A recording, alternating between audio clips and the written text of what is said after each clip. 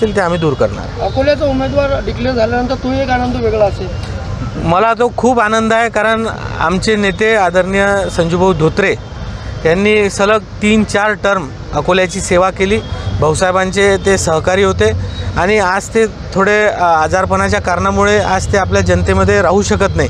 पण ज- भारतीय जनता पार्टीने त्यांच्या मुलाला म्हणजे आमचे जे लोकसभा अकोला लोकसभेचे निवडणूक प्रमुख आहेत अनुपजी धोत्रे यांनाही उमेदवारी देऊन एक त्यांना न्याय दिला आहे कार्यकर्त्यांना न्याय दिला आहे आणि अनुप धोत्रेंसारखा एक यंग आणि शिकलेला उमेदवार देऊन पार्टीने हे सिद्ध केलं आहे की तरुणांच्या खांद्यावर आता या देशाची धुरा भारतीय जनता पार्टी सोपवत आहे.